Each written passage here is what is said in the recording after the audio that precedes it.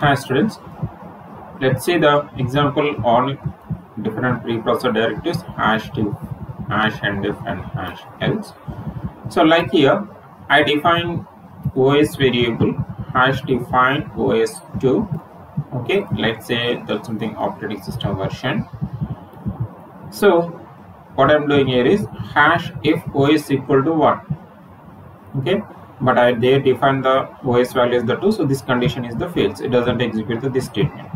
And hash else if OS equal to 2 operating system version equal to 2 hash else if OS equal to 3 operating system version equal to 3 else version is not defined.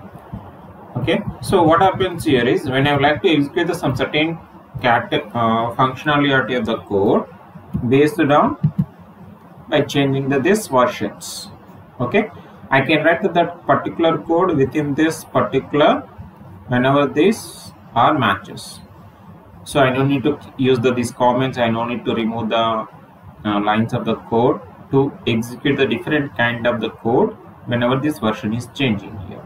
Simply instead of the 2 if I keep the value here the corresponding code for the this OS version 1 will be executed. If I keep the value here is the 3 the 3 OS equal to 3 the code will be executed and if you define it if you not define it then else part will be executed.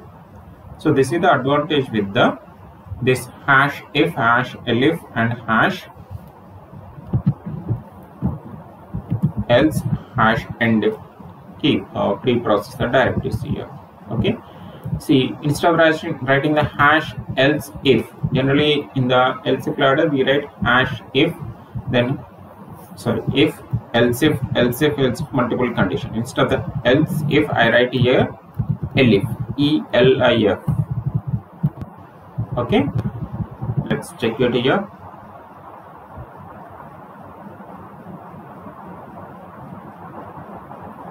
See operating system version is 2 now it is printing the corresponding code for that one is executed here